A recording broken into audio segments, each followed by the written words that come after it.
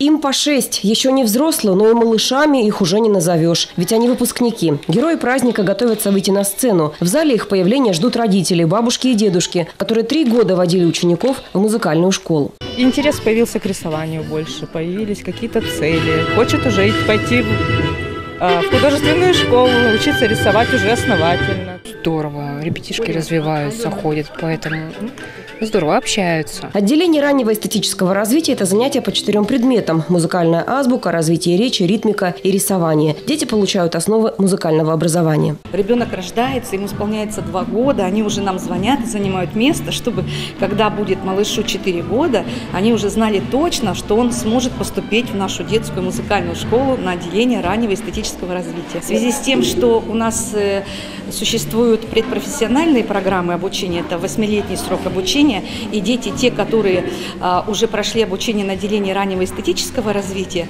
они уже легче справляются с этими предпрофессиональными программами. Преподаватели приготовили для ребят увлекательное театрализованное музыкальное путешествие «Дорогу добра». В итоге каждый из ребят получил сертификат об окончании отделения.